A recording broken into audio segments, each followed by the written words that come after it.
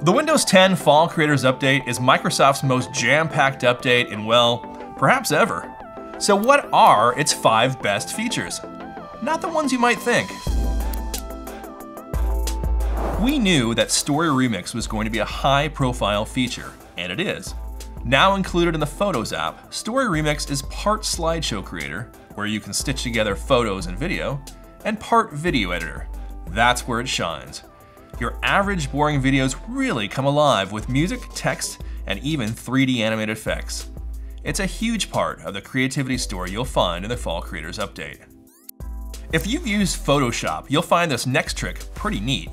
Within Paint 3D hides Magic Select. It's a tool that can clip out part of a scene and then fill in the background to fool you into thinking that was the way it was supposed to be. It's then up to you. Save what you clipped out or discard it. It's a great tool for photo editing and it's totally free.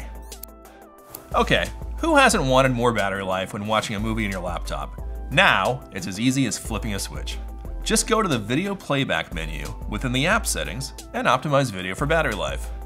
How much does that add? Try 30%. In our test, that meant two extra hours. That's a whole nother movie. This next one may seem a little silly, but it fixes an issue that's bugged me for a while. How do you type emoji within Windows? Sure, you can use a web app, or simply detach your tablet into tablet mode.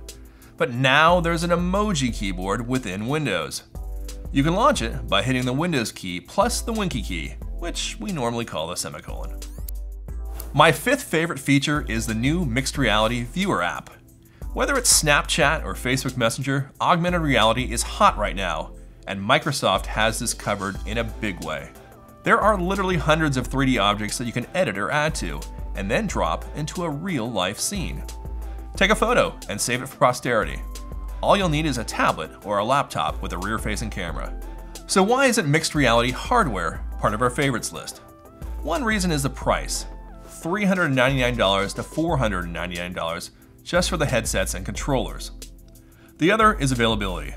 We've used the headsets several times, but not enough to give them a formal review. We have some concerns, calibration, as well as how well the handheld controllers are tracked.